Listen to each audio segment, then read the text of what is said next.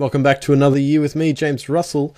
I'm here with our new series called Tidbits. It's all about uh, small, tasty pieces of food that's the actual definition, but we're going for a small and particularly interesting item of gossip or information. And your gossip slash information is what I'm going to show you in these five minute videos.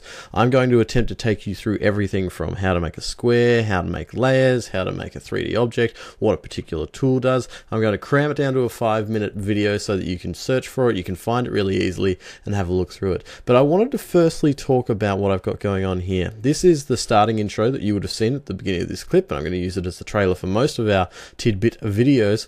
I've just been working on a little project and I kind of got caught up with it. I've been working on it for like six, maybe seven hours, and this is the result thus far. Uh, just testing out my programming skills, getting back in the groove of things, also trying to learn a little bit of Python, which I haven't quite got my head around. So this is still done in VectorScript 2015. I just wanted to show it to you because I've actually just replicated Pac-Man with a whole heap of detection devices. So I'm going to double click it and we'll see what happens. It'll run a little bit slower on my computer because I am recording at the same time.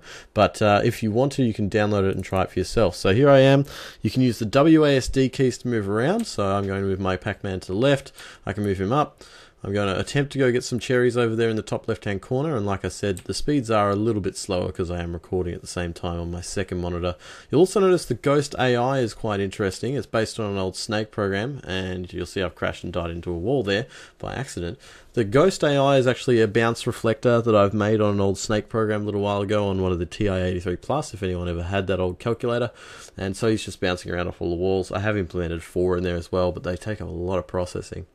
Pac-Man, if he jumps into a wall, we're using a location command for that. So if he happens to bounce into a wall of any kind, he self-destructs and kills himself in that animation. And also if you pick up the cherry, it'll add to your score counter, which you'll see down the bottom right-hand corner as a script message.